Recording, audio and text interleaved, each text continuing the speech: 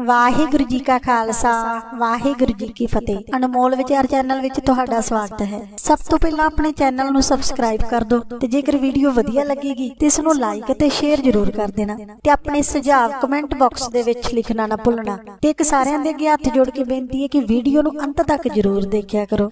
ਇਤਿਹਾਸ ਵਿੱਚ ਲਿਖਿਆ ਕਿ ਮੇਰੇ ਪੰਜਵੇਂ ਪਾਤਸ਼ਾਹ ਸ੍ਰੀ ਗੁਰੂ ਅਰਜਨ ਦੇਵ ਜੀ ਦੇ ਸਮੇਂ ਵਿੱਚ ਇੱਕ ਭਾਈ ਤਰਲੋਕਾ ਜੀ ਹੋਏ ਹਨ। ਭਾਈ ਤਰਲੋਕਾ ਜੀ, ਜੋ ਕਿ ਉਸ ਸਮੇਂ ਦੇ ਹਕੂਮਤ ਦੇ ਹਿਫਾਜ਼ਤੀ ਦਸਤੇ ਦੇ ਸਿਪਾਹੀ ਸਨ। ਕਹਿੰਦੇ ਇੱਕ ਵਾਰ ਗੁਰੂ ਸਾਹਿਬ ਜੀ ਦੇ ਦਰਸ਼ਨਾਂ ਲਈ ਆਏ। ਅਤੇ ਸਾਹਿਬ ਅੱਗੇ ਬੇਨਤੀ ਕੀਤੀ ਕਿ ਪਾਤਸ਼ਾਹ, ਕੋਈ ਐਸਾ ਉਪਦੇਸ਼ ਦਿਓ, ਕੋਈ ਐਸਾ ਬਚਨ ਦਿਓ ਜਿਸ ਦੇ ਨਾਲ ਜੀਵਨ ਸਫਲ ਹੋ ਜਾਵੇ। ਤੇ ਕਹਿੰਦੇ ਮੇਰੇ ਤਨ ਤਨ ਪਾਤਸ਼ਾਹ, ਸ੍ਰੀ ਗੁਰੂ ਅਰਜਨ ਦੇਵ ਜੀ ਨੇ ਭਾਈ ਤਰਲੋਕਾ ਜੀ ਨੂੰ ਛੇ ਉਪਦੇਸ਼ ਦਿੱਤੇ। ਪਹਿਲਾ, ਕਿ ਉਸ ਵਾਹਿਗੁਰੂ ਅਕਾਲ ਪੁਰਖ ਦੇ ਦਿੱਤੇ ਤੇ ਸੰਤੋਖ ਕਰਨਾ। ਭਾਵ, ਕਿ ਜੋ ਸਾਨੂੰ ਉਸ ਵਾਹਿਗੁਰੂ ਨੇ ਦਿੱਤਾ ਹੈ, ਉਸ ਵਿੱਚ ਹੀ ਖੁਸ਼ ਰਹਿਣਾ ਸਿੱਖੋ। ਦੂਸਰਾ, ਕ੍ਰੋਧ ਦਾ ਤਿਆਗ ਕਰਨਾ। ਭਾਵ, ਕਿ ਗੁੱਸੇ ਨੂੰ ਆਪਣੇ ਆਪ ਵਿੱਚ ਥਾਂ ਹੀ ਨਹੀਂ ਦੇਣੀ। ਤੀਸਰਾ, ਆਪਣੇ ਹਿਰਦੇ ਵਿੱਚ ਦਇਆ ਦੀ ਭਾਵਨਾ ਰੱਖਣੀ, ਤਰਸ ਦੀ ਭਾਵਨਾ ਰੱਖਣੀ, ਕਿਉਂਕਿ ਦਇਆ ਦੀ ਭਾਵਨਾ ਹੀ ਸਾਡੇ ਹਿਰਦੇ ਨੂੰ ਸ਼ੁੱਧ ਰੱਖਦੀ ਹੈ। ਤੇ ਚੌਥਾ, ਸੁਖਮਨੀ ਸਾਹਿਬ ਜੀ ਦੀ ਬਾਣੀ ਪੜ੍ਹਨੀ ਅਤੇ ਸਿਮਰਨ ਕਰਨਾ। ਪੰਜਵਾਂ, ਪਾਣਾ ਮੰਨਣਾ ਕਿ ਹਮੇਸ਼ਾ ਉਸ ਵਾਹਿਗੁਰੂ ਜੀ ਦੀ ਰਜ਼ਾ ਵਿੱਚ ਰਹਿਣਾ, ਵਾਹਿਗੁਰੂ ਜੀ ਦੇ ਕੀਤੇ ਨੂੰ ਕਿਹੜੇ ਮੱਥੇ ਸਵੀਕਾਰ ਕਰਨਾ। ਤੇ ਛੇਵਾਂ, ਕਿ ਆਪਣੇ ਹਿਰਦੇ ਵਿੱਚੋਂ ਹੰਕਾਰ ਨੂੰ ਤਿਆਗ ਦੇਣਾ। ਭਾਈ ਤਰਲੋਕਾ ਜੀ ਇਹ ਛੇ ਉਪਦੇਸ਼ ਲੈ ਕੇ ਬਹੁਤ ਹੀ ਪ੍ਰਸੰਨ ਹੋਏ ਅਤੇ ਆਪਣੇ ਪੱਲੇ ਬੰਨ ਲਏ। ਭਾਵ ਕਿ ਆਪਣੇ ਹਿਰਦੇ ਵਿੱਚ ਵਸਾ ਲਏ ਹੁਣ ਭਾਈ ਤਰਲੋਕਾ ਜੀ ਆਪਣੇ ਹਕੂਮਤੀ ਦਸਤੇ ਦਾ ਸਿਪਾਹੀ ਸੀ, ਡਿਊਟੀ ਸੀ, ਕਰਨੀ ਪੈਣੀ ਸੀ ਤੇ ਕਹਿੰਦੇ, ਕੁਝ ਸਮੇਂ ਬਾਅਦ ਬਾਦਸ਼ਾਹ ਦੇ ਨਾਲ ਸ਼ਿਕਾਰ ਖੇਡਣ ਲਈ ਜਾਣਾ ਪਿਆ। ਬਾਦਸ਼ਾਹ ਨੇ ਜਦ ਸ਼ਿਕਾਰ ਖੇਡਣ ਲਈ ਆਪਣੀ ਤਲਵਾਰ ਕੱਢੀ ਅਤੇ ਇੱਕ ਹਿਰਨੀ ਦਾ ਸ਼ਿਕਾਰ ਕਰ ਦਿੱਤਾ। ਹਿਰਨੀ ਗਰਭਵਤੀ ਸੀ।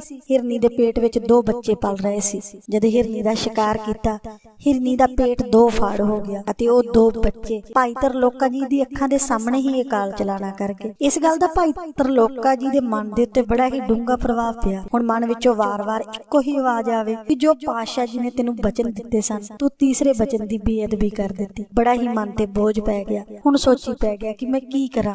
ਬਾਦਸ਼ਾਹ ਦੇ ਨਾਲ ਜਾਵਾਂ ਜਦ ਇਹ ਨੌਕਰੀ ਛੱਡ ਦੇਵਾਂ? ਬਾਦਸ਼ਾਹ ਜੀ ਦੇ ਬਚਨਾਂ ਨੂੰ ਨਿਭਾਵਾਂ? ਪਰ ਕਹਿੰਦੇ ਨਾ ਕਿ ਕਈ ਵਾਰੀ ਮਜਬੂਰੀਆਂ ਹੁੰਦੀਆਂ ਨੇ। ਫਿਰ ਭਾਈ ਤਰਲੋਕਾ ਜੀ ਨੇ ਇਹ ਫੈਸਲਾ ਕੀਤਾ ਕਿ ਮੈਂ ਅੱਜ ਤੋਂ ਇਹ ਲੋਹੇ ਦੀ ਤਲਵਾਰ ਦਾ ਹੀ ਤਿਆਗ ਕਰ ਦੇਣਾ ਹੈ। ਉਸਨੇ ਜੋ ਲੋਹੇ ਦੀ ਤਲਵਾਰ ਸੀ ਉਸ ਨੂੰ ਕੱਢ ਕੇ ਸੁੱਟ ਦਿੱਤਾ।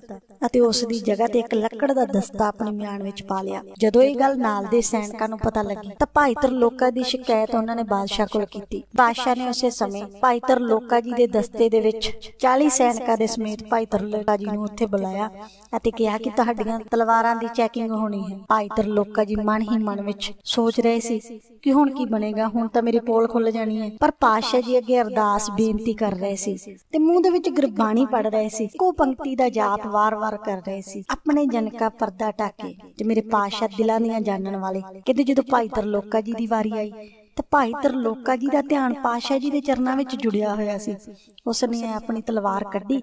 ਅਤੇ ਬਾਦਸ਼ਾਹ ਦੇ ਸਾਹਮਣੇ ਰੱਖ ਦਿੱਤੀ। ਜੋ ਤਲਵਾਰ ਰੱਖੀ, ਉਹ ਤਾਂ ਲੋਹੇ ਦੀ ਤਲਵਾਰ ਵਾਂਗ ਲਿਸ਼ਕਾ ਮਾਰ ਰਹੀ ਸੀ। ਭਾਈ ਤਰਲੋਕਾ ਜੀ ਵੀ ਦੇਖ ਕੇ ਹੈਰਾਨ ਹੋ ਗਏ ਅਤੇ ਸ਼ਿਕਾਇਤ ਲਾਉਣ ਵਾਲੇ ਵੀ ਹੈਰਾਨ। ਪਰ ਭਾਈ ਤਰਲੋਕਾ ਜੀ ਨੂੰ ਆਪਣੇ ਉਸ ਵਾਹਿਗੁਰੂ ਤੇ ਭਰੋਸਾ ਸੀ।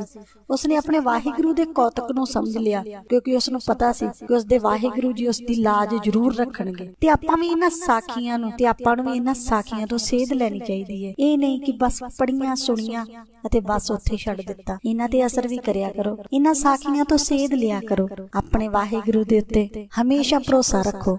ਹਮੇਸ਼ਾ ਇਹ ਗੱਲ ਯਾਦ ਰੱਖੋ ਕਿ ਮੇਰੇ ਵਾਹਿਗੁਰੂ ਜੀ ਆਪਣੇ ਪਿਆਰਿਆਂ ਦੀ ਹਰ ਥਾਂ ਤੇ ਲਾਜ ਰੱਖਦਾ ਹੈ। ਬਸ ਲੋੜ ਆ ਸੱਚੇ ਦਿਲੋਂ ਉਸ ਵਾਹਿਗੁਰੂ ਅਕਾਲ ਪੁਰਖ ਨੂੰ ਯਾਦ ਕਰਨ ਦੀ। ਮੇਰਾ ਵਾਹਿਗੁਰੂ ਜੀ ਹਰੇਕ ਪੱਖੋਂ ਸਾਡੀ ਲਾਜ ਰੱਖਦਾ ਹੈ। ਕਦੇ ਵੀ ਸਾਡੀ ਪਿੱਠ ਨਹੀਂ ਲੱਗਣ ਦਿੰਦੇ। ਆਪਣਾ ਵੀ ਫਰਜ਼ ਹੈ ਕਿ ਆਪਾਂ ਵੀ ਇਹਨਾਂ ਬਚਨਾਂ ਨੂੰ ਸਿਰਫ ਪੜ੍ਹ ਕੇ ਸੁਣ ਕੇ ਨਹੀਂ ਛੱਡਣਾ। ਸਗੋਂ ਆਪਣੀ ਜ਼ਿੰਦਗੀ ਦੇ ਵਿੱਚ ਇਹਨਾਂ ਬਚਨਾਂ ਤੋਂ ਸੇਧ ਲੈਣੀ ਹੈ। ਮੇਰੇ ਨਾਨਕ ਪਾਤਸ਼ਾਹ ਜੀ ਨੇ ਆਪਣੇ ਦਸਾਂ ਜਾਮਿਆਂ ਵਿੱਚ ਸਾਨੂੰ ਵੱਖ-ਵੱਖ ਕੌਤਕ ਰਚਾ ਕੇ ਸਾਡੀ ਜ਼ਿੰਦਗੀ ਨੂੰ ਸੇਧ ਦੇਣ ਵਾਲੀਆਂ ਸਿੱਖਿਆਵਾਂ ਦਿੱਤੀਆਂ ਹਨ। ਪਰ ਕਮੀ ਸਾਡੇ ਵਿੱਚ ਆ ਜੋ ਅਸੀਂ ਆਪਣੇ ਗੁਰੂ ਦੇ ਬਚਨਾਂ ਦੇ ਉੱਤੇ ਖਰੇ ਨਹੀਂ ਉਤਰਦੇ।